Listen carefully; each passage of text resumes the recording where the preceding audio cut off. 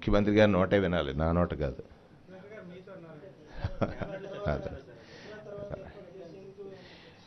అది. మీ అందరి యొక్క తీవ్ర కోరిక అయినప్పుడు ఖచ్చితంగా అది సిద్ధించాలని నేను మీ తరఫునే మీరు మీరు నా తరఫున ప్రార్థిద్దాం. చర్చ ఎందుకు జరుగుద్ది? నిర్ణయం అది అంతే. దాంట్లో చర్చ జరగాల్సినంత అవసరం ఏముంది? ముఖ్యమంత్రి గారు చెప్పారు విశాఖ కేంద్రంగా పరిపాలనా రాజధాని ఉండాలని. అలాగే శాసనాలు చేయడానికి సంబంధించిన రాజధాని అమరావతిలో ఉండాలని అలాగే న్యాయపరమైనటువంటి విషయాల్లో అంటే న్యాయపరమైన రాజధానిగా కర్నూలుని ఉంచాలని.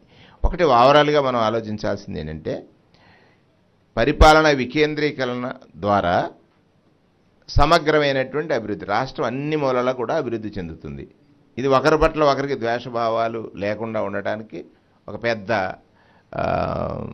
పరిష్కార మార్గం పరిష్కార మార్గం. ఎంచేత హైదరాబాద్ డెవలప్ అయిన తర్వాత కదా వారికి ఇది వచ్చింది అనేటువంటి. ఇక్కడ ముఖ్యమంత్రి గారి ఆలోచన ఏంటంటే ఆయన చూడండి ప్రతి విషయంలోనూ కూడా కులం మతం లేదు ప్రాంతం పార్టీ లేదు ఓటేశాడా లేదు.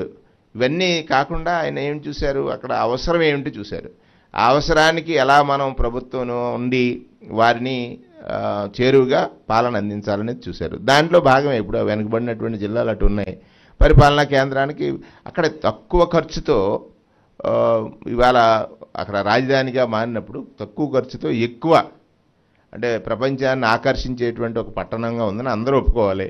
సో అది అక్కడ పరిపాలన జరుగుతుంది ఇక్కడ ఇక్కడ ఇక్కడ వచ్చి శాసనాలు ఇక్కడ కూడా డెవలప్ అవుతుంది. మళ్ళీ అలా కర్నూలు కూడా డెవలప్ అవుతుంది. ఎక్కడ డెవలప్ అవసరం అక్కడ డెవలప్ అయ్యేటువంటి పరిస్థితులు ఉన్నాయి.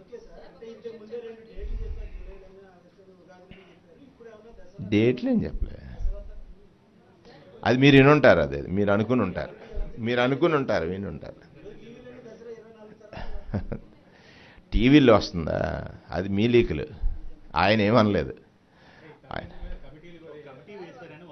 దేనికి? ఎక్కడ నేనున్నాను కదా క్యాబినెట్లో. మీరు ఏదో ప్రశంస చేసుకుంటారు